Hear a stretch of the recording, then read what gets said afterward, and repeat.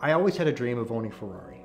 I've loved Ferrari. My uncle was a race car driver. I followed Formula One racing my whole life, and I've always dreamt of owning Ferrari until the day I could afford to buy a Ferrari. And then I'm like, what part of me wants this Ferrari?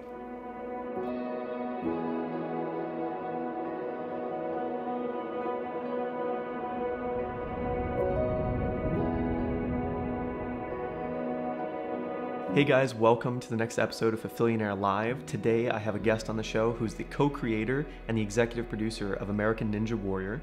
He started a production company when he was about 40 years old that ended up selling for $100 million. And we get into so much beautiful money mindset information, stories from his personal life and his business life with lots of details. So, welcome today, Kent Weed. Hey guys.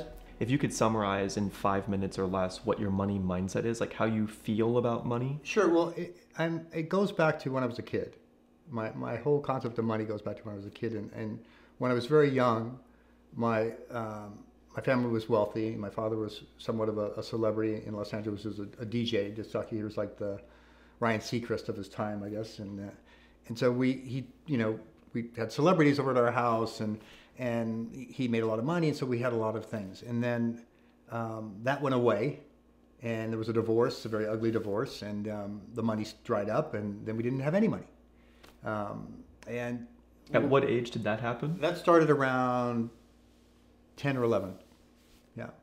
So, so I just said I don't know where I got the inspiration or what the the drive, but I said, well, I just have to get a job. I mean, if you want to make money, you have to get a job. If there's no money, you get a job and make money. So I started working when I was very young. It, it was a paper route. It was um, working at a swap meet on the weekends and saving my money so that I could have things. So that, you know, if I, I didn't have to rely on somebody else to give me something. So it was an early mindset that, that, that was developed. And, and I found that it wasn't that hard. Uh, to to be able to to go out and just make money wasn't that hard for me. Uh, as I got older, I, I continued working, and, and one of the things my father instilled in me, and you know, there's this whole thing that parents put belief systems on you and stuff, and and he said, you know, you have to work hard to make it in this world, and you can't trust anybody else, and you have to do yourself. And you know, I've learned since then that that you know may not be the total truth, but it did instill in me a drive to be able to succeed on my own, no matter what I did. And as I as I grew up, making money wasn't a problem. I was always the, the most wealthy of my family, my siblings, and I always had money. But it didn't come without consequences because I was young and I squandered it when I was in my 20s and basically was bankrupt and in debt, you know, by the time I was 23 and had to climb my way out of that. And I went back to my father, can you co-sign a loan for me? And he said, uh, you know what, why don't you talk to my business manager? And I'm like, what the, who, what dad does this? This isn't right, this isn't right, right? I was much more upset at the time, but um, it taught me a lesson. It taught me, well, he was right. I have to do it on my own. Don't can't rely on anybody else.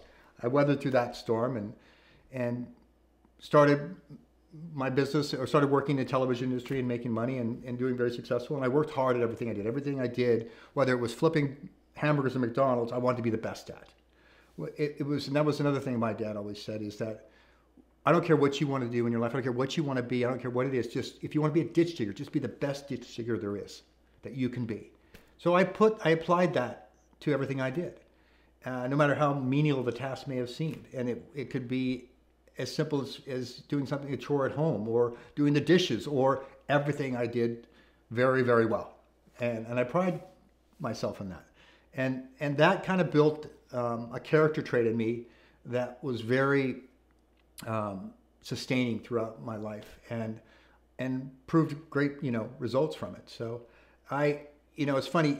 A lot of people don't think I'm a money guy because where I, I sit now with money. Right, right the, my whole view of money right now is that if you don't worry about it, if you don't think about it all the time, uh, that if you just are conscious that it's easy and it's abundant, and you come from a place of abundance, you you will have all the money you need or the money that you want to have.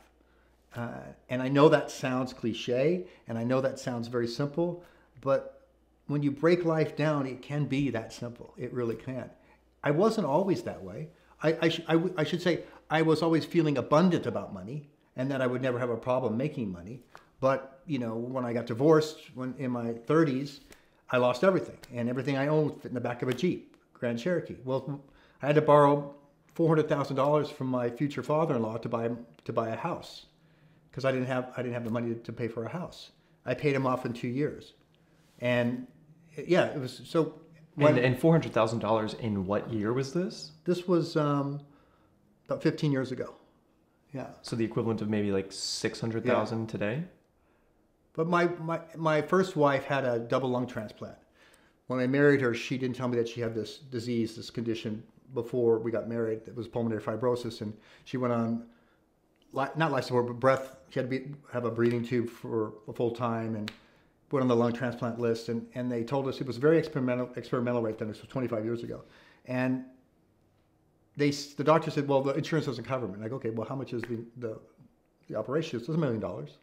I go, I don't have a, a million dollars. So I spent the next 14 months taking every director job I could, finding everything I could, and started investing in the stock market. Started getting up at 4:30 in the morning and reading everything, reading trends, studying things, what to invest in, looking for, you know, looking for ways to scale up to, you know, exponentially what my earnings were going to be in the next to be able to pay for this operation. Wow.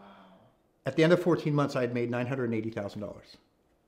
And it was like, this was, I was 30 something years old, and it was, uh, you know, just, it's just, you, you don't think about it, you just, about how I'm going to do it, you just do it. And I think just, if you just do it, the rest, it, everything else just comes. It turned out I didn't have to pay for the whole operation. I only had to pay for 750,000 of it. So there was a surplus, which was great. Mm. And, uh, which she got the divorce later, but that's okay. but then after the divorce, I came back again. And I had a company that I had started with my business partner, a television production company. We each put $25,000 into this company with one TV show. At what age? Uh, I was 40 years old. Okay. So this is after you had, so basically, if I'm going to pull back on this a little yeah. bit, you had a bunch of jobs growing up because you went from extreme wealth to losing everything yeah. to being a 12 year old going to work to stashing away your cash, eventually spending too much around that 23 age, going bankrupt, needing to borrow money, right, to get a co-sign a loan from your dad, business manager, all that yeah. stuff went down. Then um, you're going through life, you're putting yourself back together, you're married, you go through a divorce, yeah, and then remarried, and this is the lung issues. The lung issue was the first, my first. Okay, that was yeah. the first one. So the lung issues, and then you developed this incredible skill set to be able to make a million, basically a million dollars in just over a year. Yeah because of the necessity to pay for it, yeah. right? If there's a need, then. And then you've now, because of that need, you had built this new skill set, right? So that extreme challenge allowed you to step into a space to build all these skills to make that amount of money in that amount of time, right? Mm-hmm. But then those skills come with you after the challenge, right? Right. Which led you to this point of being 40 and now starting a production company. Yes. When I started this company with my partner, I always knew that we'd be successful. I didn't know how. I didn't know how it was going to happen. But I knew that he was smart, I was smart. We were both very good at what we did, and we make a good team. And over the next 10 years, we developed 250 shows. Many of them were number one shows on the networks. We did about half a billion dollars in business, and we sold our company for $100 million. In how many years did it take from starting to selling? 10 years. 10 years. Yeah. Okay, so you start this production company, you both put in $25,000, right? Tell me about the first moves you made. Did you sit down in a strategy session? Did you whiteboard? Like, what was the startup of that looking like? Did you hire people? So, the, when we started our company, the strategy behind it was that we wanted to do shows we were passionate about. So, you wanted to make TV shows? Yeah. For network TV? For network TV. Back then, this is almost this is 20 years ago. Back then, uh, it was you know you you did shows for TV networks and, and cable was just burgeoning at that time. Okay. Uh, there was no streaming and it wasn't around at that point. Mm-hmm. So so we had contacts with networks with some of the our friends had worked at networks. So it's all a contact business and and we knew we had good ideas and so we just started developing different show ideas and then selling them to different networks. The, the, the strategy involved was to do shows we were passionate about. And we also were, were very conservative about our money and how we our spending habits. We never took money from the business for our own personal needs. We we I don't I and I always had this beef with my partner because it's like we have a business, we can write off like dinners and entertainment, and, and he's like, no, that's personal expenses. That's the thing that you need to do for yourself, and and and it, it, it proved very you know fruitful. We our first hire was our account accountant. The accountant is the one that manages the money and handles the money and lets you know how you're doing. So we also rented an office, bought some equipment, bought some edit bays, put some edit bays in, and so we could save money that way. And we were coming up with strategies to be able to maximize budgets, our, our margins, if you will. Uh, and and so owning equipment was a good thing. Not having to outsource a lot of, of jobs, to keeping it in house was a, a very smart move that we did. And with fifty thousand to start the business, you were able to do all that. Well, yes. That said, we also had one TV show uh, was called You Gotta See This. It was on Fox Sports. And when you started the company, that was already a thing. Yeah, that was the show that we we inherited. That we got our first show. Beautiful. And so it it was like a- already in a season, or it was already pitched. It was it was a show. My business partner had been the head of Fox Sports. He stepped down for, from there to start this company, and they gave him that show. So that's how we started with that one cable show. wow. And 165 episodes. It was a strip show. I think I think it was 35 or 65 thousand dollars an episode. It wasn't a ton of money, but 165 of them. That's up. And it helped pay overhead. It helped give us the resources to develop new shows. Uh, we hired a development person after that, but we had a very small staff. We kept it very lean. One, we shared an assistant. Um, so we were very, you know, very frugal about how we spent our money because we knew that it was, you know, the smart thing to do. And that was we both came from the same mindset about that. And And then how were both of you paying your own bills during this period of building it up? well, we we had enough money from the business to pay our bills. Yeah. Okay, so you were taking paychecks out, Yeah. but like not much. Well, the first the first year, I think I made uh, about seven hundred thousand dollars From this business? from this business. Yeah. I have so many questions. Yeah. Okay, so where did you get the idea that you wanted to start a production company or a studio, or what would you consider this? Well, I had my own production company before this. It was called Wave Productions, and I did music videos and dance videos, and um, I'd even done some psychic infomercials. Back then, it was very popular. I did Dionne Warwick and uh, Billy Dee Williams and a bunch of other people, but uh, Dr. Joyce Brothers, a couple, you know. But so it was a pain in the butt to do a production company because there's a lot of managing people is difficult. Dealing with clients is is I was never always. A, I was always. I'm more of a director creator, and and so dealing with people and being very politically correct and all that, I was not my forte. My partner came from the corporate world. I came from a freelance world. I never had an office in my life until I met him, and now I'm, now I had to make a commitment to go to work every day with this guy that that's all he's ever known. Mm. But he lived in this political world with you know HR and all this stuff, and I didn't even know what HR was when I first started the company. But now everybody knows what HR is, and so it was a good melding of of, of mindsets and, background. I so here's the thing. So when I was approached by my partner starting this company, he said, "You're crazy. You don't want to do this." And he kept. He said that. No, I did. Oh, you did. Okay. And I said, well, of all the people you could choose, why would you choose me? I go, you have these amazing, all these other, you know, executives and people that do stuff. And he's like, why me? He goes, because you're the one that I think I'll succeed with. Hmm. And With your talents, with your creativity, with, you know, what I know about you. Because I had worked for him. I had done shows for him. He used to call me when they had some mind fuck of a show to do, some logistic nightmare that he had to pull off, and said, I need your help. And I would come in and figure it out and do it.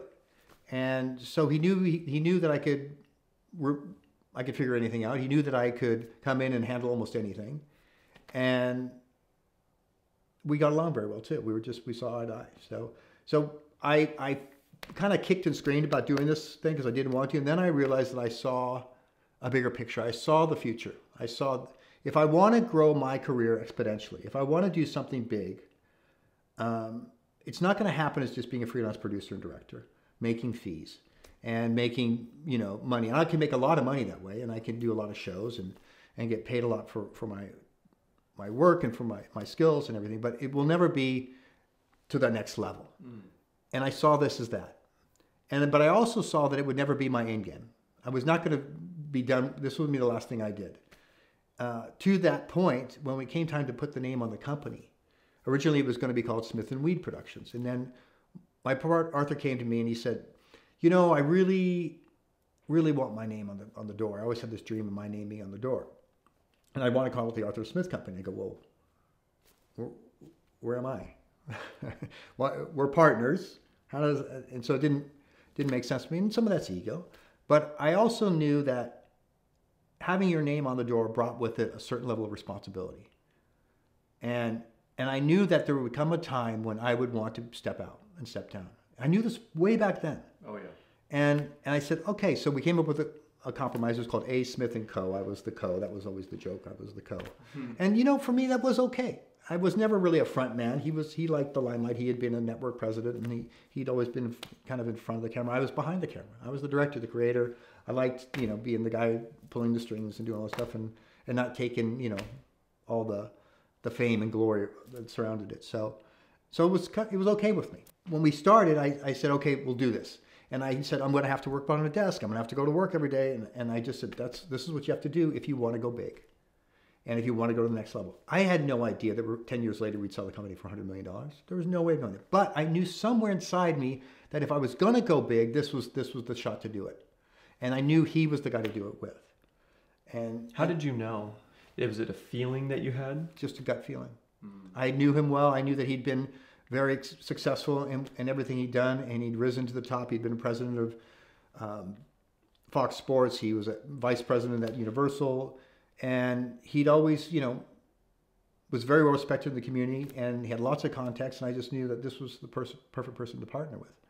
We did develop great shows together, like I said, and to the point that we, you know, became in a, in a time when all the smaller independent companies were getting bought up. We got approached many, many times, uh, and we turned down a couple of offers too because we didn't want the partnerships with a couple of the companies, a couple of European companies. We said, mm, I don't think that works, and we, you know, we finally, you know, we, we had our we had our ups and downs though. Uh, um, about year seven, we were doing a couple of shows. We did one show in Japan. It was the first television series ever shot on American show ever shot on, on the full show shot in Japan in Tokyo.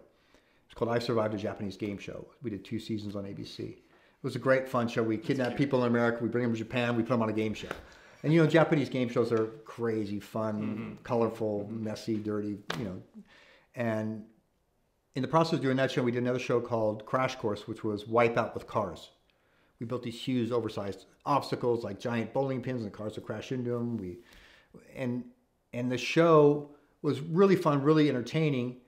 Um, it it got killed by Obama doing some speech in September, and we got lost the episodes. But we ended up selling internationally and did much better than domestic. But and I think someone just oh, it's in Denmark right now of all places. So, but where I was going is that when we did these two shows, our person that was in charge of the money, or we, you have a line producer or executive in charge of production that handles the budgets, and at this point, I had loosened up the reins a little bit. I used to monitor everything. I used to sign every check. I used to see every budget, check every budget, make sure everything was staying on track to protect ourselves.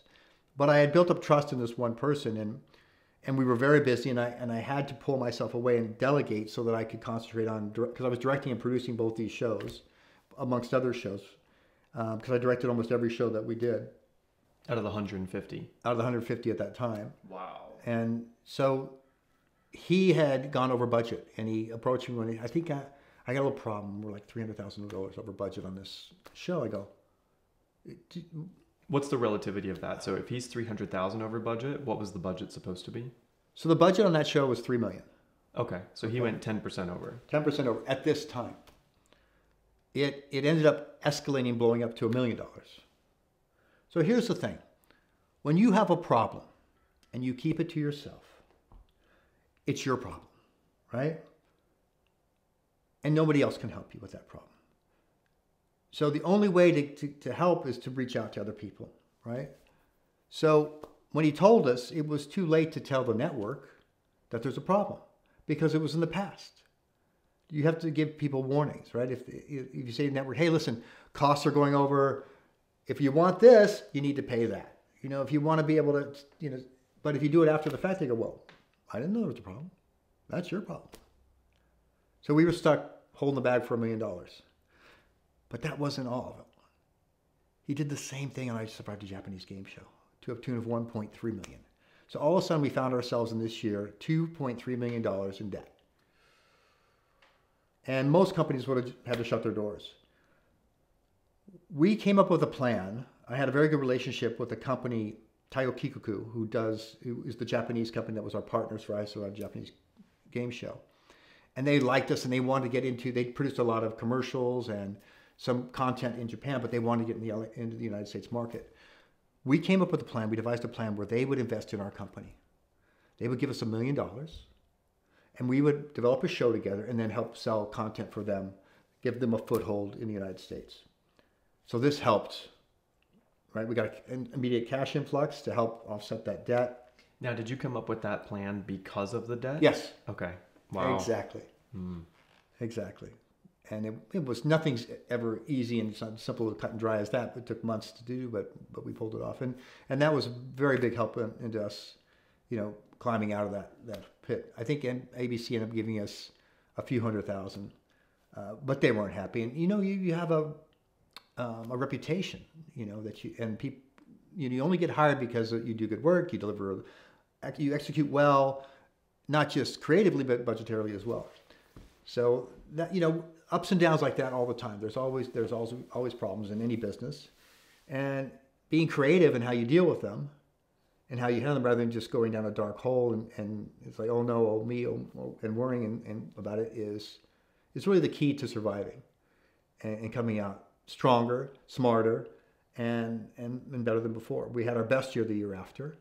So tell me, these ups and downs that you went through in business, did you have any ups and downs in your personal life? Oh yeah, I, I, at that time, you know, I had gone through a lot with my first wife uh, because of the the illness, and and after she got her lung transplant, she was very afraid to do anything, to go anywhere. She she really kind of stayed in a box, which um, put a lot of stress on our relationship, and she just became a different person. And I probably never really got over the fact that I was kind of deceived, you know here you marry someone, you think you spend the rest of life, rest of your life with them, and a year later, you, all of a sudden they're on oxygen 24 hours a day, and they have this pulmonary fibrosis. Like, what? Where did that come from? And it's it's uh, conditions she had. So, so I'm sure there was something to that. And I, you know, we we went on to have a child because she wanted to have a child, and and, and I'm doing all this by the After. way. After this, yeah. By the way, the doctor said, "Don't have a child. Don't do this. Don't get a dog. First, we had a dog. Don't get a dog. We got a dog. First, have a child. Get don't have a child. Get a child. Have a child." And all this was I was doing because not because I wanted a dog, not because I wanted a child, but because I wanted to make her happy. I wanted, you know, here I'm picturing this person. Back then, the the life expectancy of someone that has a double lung transplant was only five years. But here's the funny thing: technology, medicine, science is advancing, you know, almost at a disruptive rate right now. And so as she lasted longer, medicine got better and extended her life longer and longer. She's still alive today, 25 years later, and probably one of the top 10 survivors in, in, of a double lung transplant at this point. But um, it just added a lot of stress and pressure to our relationship. I became this, you know, you know, there's a totem pole, and I became the guy at the bottom holding everything up. Mm. And I would just there was, it just was. I felt that you know, the only thing that was working in my life was work. The only thing that was my business, and, and I was still staying in shape, still athletic. I always stayed athletic. I always exercised. That was my outlet too. Exercise, whether it was triathlons or finding some sort of competition or some sort of regular routine or challenge to keep me fit. Um, and I felt good too. I always felt good, you know. I and so those were my two outlets. And but I wasn't happy at home. And a couple of things happened. My father died and my father was in a very unhappy second marriage, and I, to this day, believe that it, that's what ended up killing him. Wow. That he didn't have a way out. That he's going to take the easy way out, the respectable way out. I'll just get cancer, and then everyone will feel sorry for me. I'll, I'll bow out gracefully, and I won't have to divorce this witch of a woman that I'm married to, and go be happy.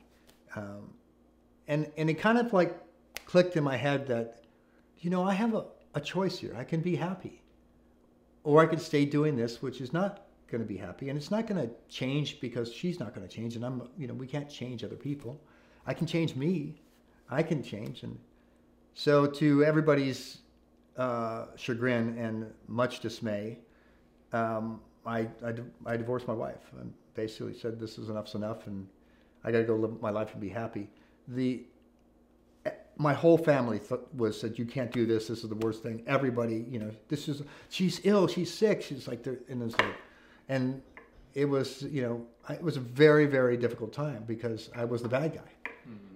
But I knew what I was doing was right. It was really right for both of us, for us to, to separate and go live our lives. You know, her to do what she needed to do, and me to to to go and be happy and find happiness. The we separated in the the final straw that broke the camel's back or decision was my younger brother died of a heart attack. And I'm like, okay, these are some pretty extreme signs I'm getting. Okay? Yeah. If I'm not going to listen to these, I, I don't know. You, you can hit me over the head how many times before I like go, okay, I get it. So um, that was like, okay, I'm done. And four years in court and lots and lots of money and all that stuff. And um, she hired, you know, like the Beverly Hills attorney and all that stuff. And, and you know, and her attorney did good. She cleaned me out and they painted me out to be this terrible father and terrible husband and all this stuff. And I even had to bring in, uh, um, they said I was an absentee father and I never did anything with our son. And I had to bring in all these pictures and all this stuff as proof to the court. I said, Look, I have nine plaques here from soccer and baseball as me as a coach of his team. Here's a video of me showing him how to learn, teaching him how to ride a bicycle.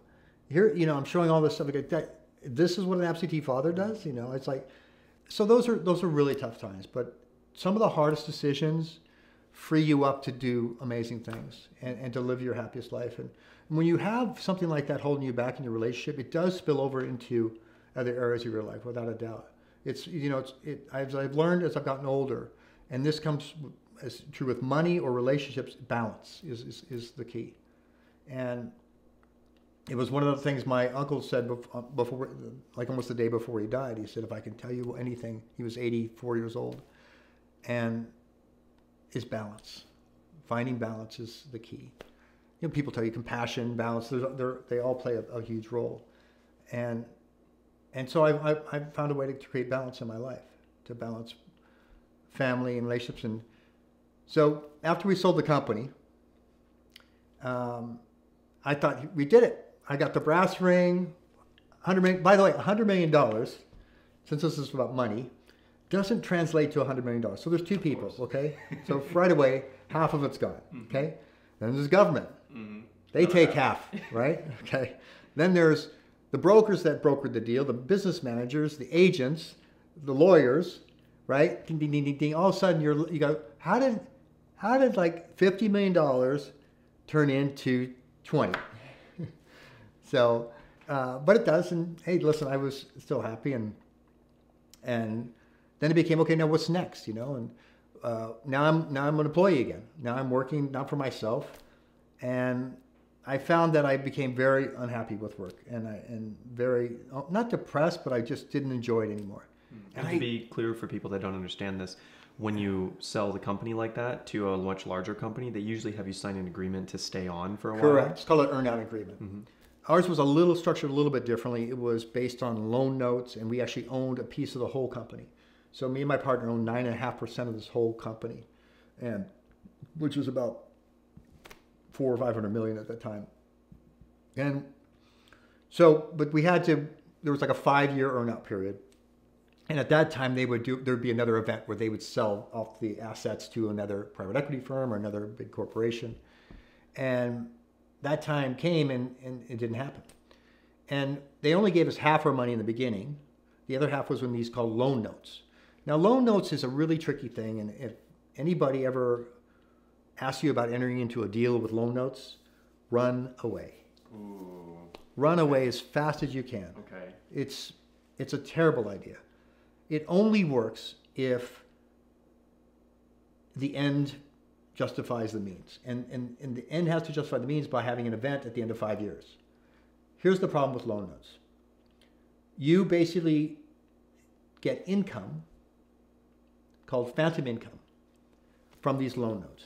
You don't get any cash, but you, on paper, you've made $150,000 this year. You have to pay taxes on that. So now you're paying half, you know, 50% taxes on the phantom income, which you're not getting. It's in a, it's part of a loan note, on the interest for the loan notes because there's a, You're not paying on the loan, so you're paying on interest on the loan. It's like a promise of if there's a future sale, you will get paid out of that sale. right, And it's stacking and it has interest, which is attractive right, and the interest is great because if that happens. yes, if it happens, but if it, there's no event, there's no you know, hundred percent of nothing is nothing. That said, you're still paying the government on this Exactly. phantom income. So imagine making How is that legal? a million dollars a year, and then 150,000 of that is not cash. So now I made 850,000, but I got to pay 75,000 on that phantom income. So now I've made 775,000. So it decreases your your income by almost 25 percent. Uh, so this put a lot of strain and stress on, on our relationship as a partnership and and a need to try and do more business and create more work and and the company that we worked for everything was about margin. When you, when you stop working for yourself and work for someone else you know there's a bureaucracy involved there's you know a board involved and, and everything's driven by profits like all big business. So what are your margins? Can you get your margins up? You need to save costs and it's like you know we'll just sell another show. And remember when i said we started the business because we wanted to do shows we were passionate about? Well, all of a sudden we're doing projects that I I have no interest in doing at all. I, I, I mean, it's like this is this does not move the needle for me. It's not helping humanity. It's not making a difference in the world. It's just, I mean, it wasn't you know Jersey Shore, thank God, and it wasn't The Bachelor, but but it still wasn't. It was somewhat mindless television stuff. So, so it was purely for profit, purely just doing it for money, just to make money, and that's not what I had signed up for.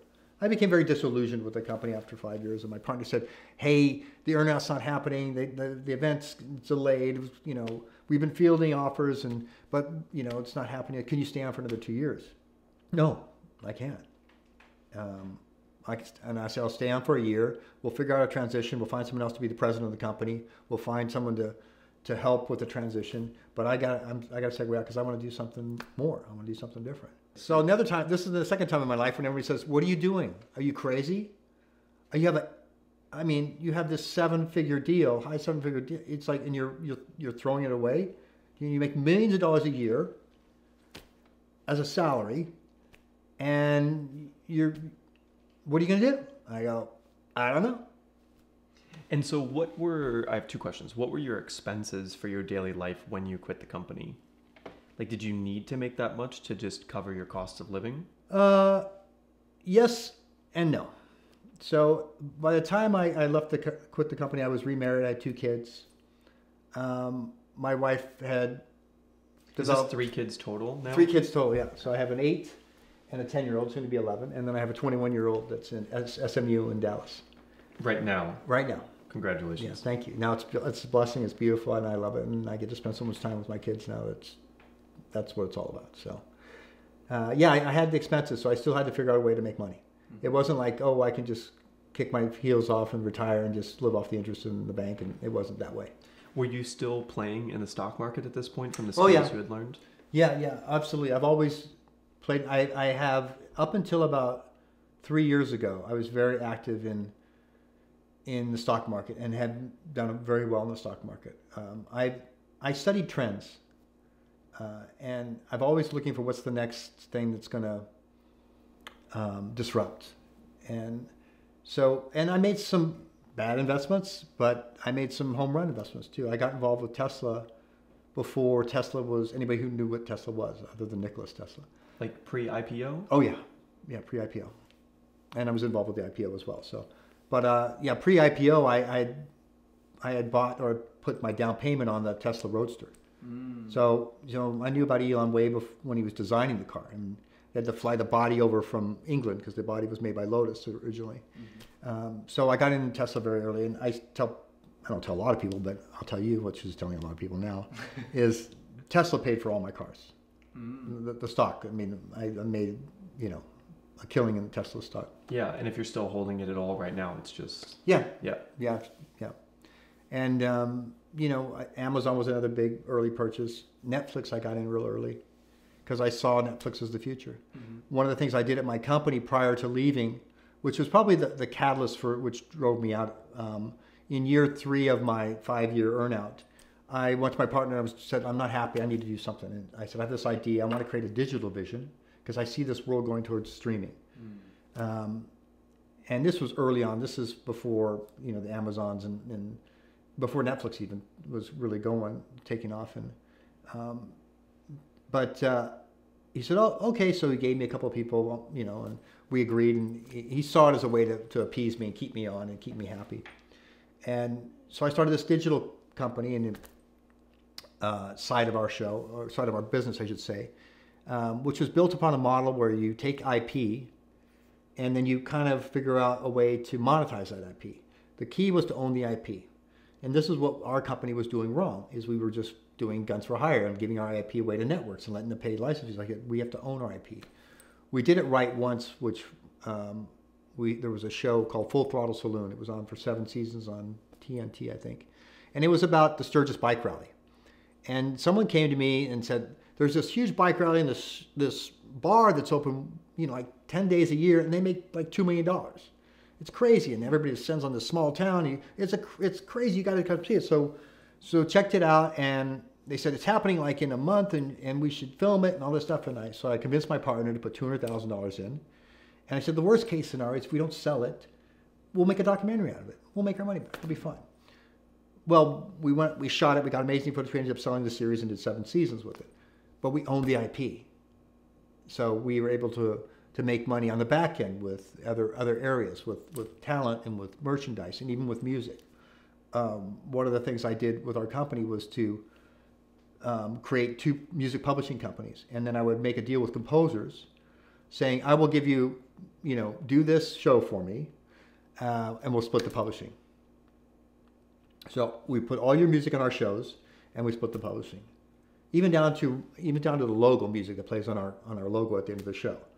You know, we get like 300 bucks every time our, one of our shows plays. You know, and and so finding ways to monetize IP or to create to ownership was the key to growing and, and making money, uh, and not being reliant on someone else just paying you fees. So, so I took that kind of a model, created this digital plan, which was this 360 model, which is the IPs in the middle, and then you have many different ways to monetize it, whether it's music publishing, whether it's talent management, whether it's a graphic design part. Could you give me an example of a specific show that you worked with and how you did that? Um, I probably I can't because the show never happened because of corporate issues. So I took this plan to my partner after developing it, and, and I met with the guys at Zealot, and and the, and when I went up to the board of directors, they said, you know, I, I don't see this working. You know, we, we sell shows to networks, mm. and we, we we get paid by networks to do shows. Why would we do this? Why would we invest our own money? Why would and they didn't see the long tail aspect of it. They didn't see the benefits of. What year is this in?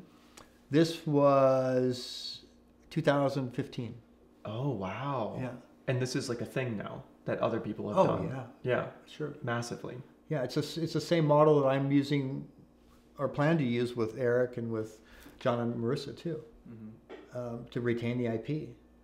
Um, Can you talk about that? Like what you're seeing for the future of what you're trying to get into next? One of the things that I, I wanted to do when I left the company was to continue, continue using my talents but to do projects that I was passionate about, projects that I thought moved the needle. Uh, American Ninja Warrior, I retain, I still executive produce that show, and I, I also executive produce and direct the American Ninja Warrior Junior show. And those, that's a show that exemplifies something that's inspirational, that um, moves the needle for people, that, that, that, makes a difference. It changes people's lives. I, I say it all the time. It gets parents off the couch and gets kids away from video games and everybody playing together like a family in the backyard again. And I mean, that's what we're missing in, in today's world is more programming that is inspiring us to, to be, you know, loving, caring, supporting each other, being a, stronger community. American Ninja Warriors community is probably the strongest community of tribe of people that support each other that, that I know of right now. I mean, I mean, they they they are equivalent to like Mindvalley or Summit or all these other groups that that create communities of people that support each other's goals and aspirations. And funny thing about American Ninja Warrior is like they, it's a competition, but each one's helping each other, out. You know, how do you how did you do this one this obstacle different, and how can I get better? It's a it's a family like none I've seen. So I really wanted to do more shows like that, more content that was like that, more content that's going to help people. And when I put it out there into the universe, it just started coming to me.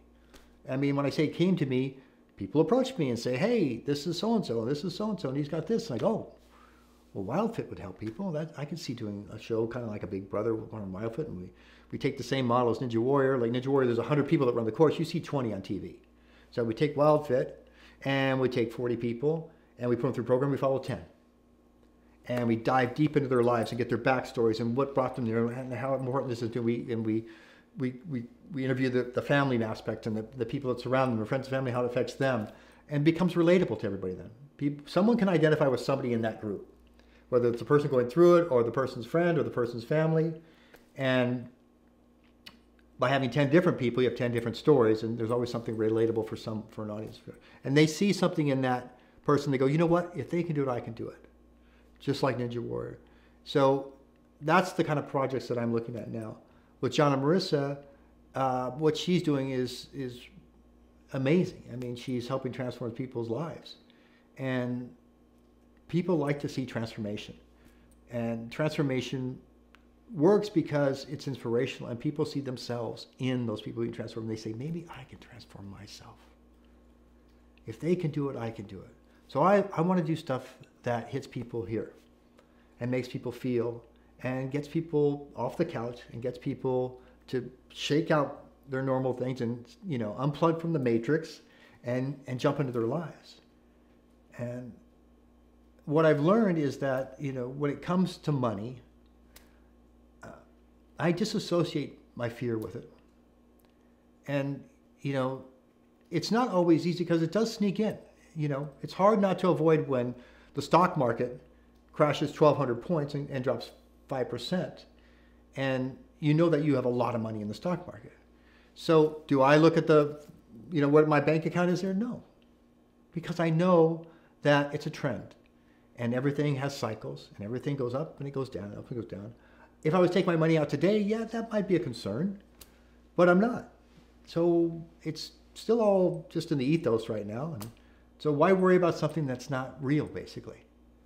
Um, and let's talk about that. So, making it not real, what would be your biggest money habits that you have kept? So, for instance, like you said, you don't need to take that money out today, which is why it's not so fear based yeah. and, and you don't have to worry about it because you are doing some in the stock market and then keeping some liquid and savings and keeping your earnings high so you don't have to worry about that. Yeah. What are the biggest like tips you could give on that? I think the key is to be, you can be smart about money. You don't have to be fearful of it, but you still need to be smart. Mm-hmm. So I don't spend excessively. Uh, I do value experiences. I do value trips. Any money I've ever spent on a trip or experience has brought dividends. Buying stuff, not so much. Uh, buying a fancy car, it, it, comes and goes. Buying the you know the new the biggest house on the block or the, the fanciest house is yeah that's that's the stuff that you know really doesn't equate to me. It doesn't it doesn't it it's not smart money use. You know I also I'm conscious how I spend my money, and I'm not just flagrant about it. I'm not you know so I I I I have always been conscious about it. Not out of fear though, just being it feels like being smart because do I need this? Mm. Where is it coming from? You know, ex- buying experience has value beyond belief because spending, time spending time with your friends and family, that's those are creating life memories.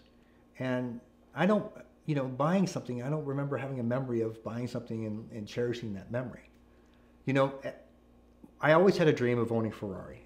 I've loved Ferrari. My uncle was a race car driver. I followed Formula One racing my whole life, and I've always dreamt of owning, owning Ferrari until the day I could afford to buy a Ferrari. And then I'm like, what part of me wants this Ferrari? And and it was it was it was a different me. It's not the me who I am today. Um, could I buy a Ferrari? Sure, I could buy a Ferrari. And and yeah, I'd love it for five minutes. You know, not maybe longer than five minutes, but but but I don't need it, and it doesn't it doesn't bring me joy. It doesn't bring me it doesn't. I don't I don't need to prove anything to anybody, and that's not you know. Um, so so it's a different, different it's a different mindset. I don't need to have the, the, the, the, best house or the best furniture or, or the fanciest this, and you know that stuff's all nice, but you know it's not always the stuff that you know moves the needle. Will I do it because my wife wants something? Yeah, I'll do it. You know, to because it's she's in a different place than I am, and things are more important to her than, than to me. Uh, we just had this not an argument, but a discussion about this at Christmas. That you know those little hoverboards. It was like so. Um, the kids had one, but it, it blew up. It caught fire, and so we had to get a new one. So we got one for Christmas for them to share. And she said, "You want to get two? I was like, "No, I don't want to get two. One's enough. One's plenty because they can share. I like promoting sharing. I like that kind of mindset that it teaches them. It's a skill set about sharing, and and then like a month later, like in February, all of a sudden there's another hoverboard in our house. It's like, where did this come from? Well, I know we talked about it, but I thought two was better. I go, but what happened to the whole share conversation? So, so people are different. Do, do I get upset about that? No, because life's too short. And, you know, there's bigger, bigger things to deal with. But uh, I think so. So being conservative with your money to a point of not being extravagant with something that doesn't bring value to your life or to your soul. And then not always worrying about money, but having a plan about money is important. So you know, when I knew when I left my company and I knew that I wasn't going to be making, you know, a million, two million dollars a year, I knew that you know, well, I'm going to make some money because I'm still doing some shows, uh, so I have to figure out other ways to make money if I want to keep growing my my wealth, so that one day I don't have to even work and even think about it. And and that's still a goal of mine. And and that takes a certain amount of money. You have to have a certain amount of money in your bank so you can make interest, so you can live off your your fixed income and and you know, I need you know, you need 50, 100 million dollars would, would set you, but you could probably be fine with 20 or 30 million. So, um, but my wife's ex- expensive, so. yeah, everyone's got different levels, right? Yeah, there is different levels. So, and I have a big, you know, I have a big net because the kids are in private schools. I've got, you know, a couple homes, but so everybody has different. But mm-hmm. find out what your tolerance is, find out what you need, and make a plan for it, and and don't stress on it, and then I really believe that if you just make a plan, things happen. And be patient. Mm. You got to be patient with money. You can't have it now. You can get it, but it may not always come now. I have like a gazillion more questions, and I hope we can do this again. Yeah. And I, and I have questions about so many other areas of life too, that it's just such a gift to have you here and to be um, closest friends that we can have these conversations and other people can benefit from it. So thank you for coming over. My and pleasure. I'm super excited to have more conversations about all of this on or off camera.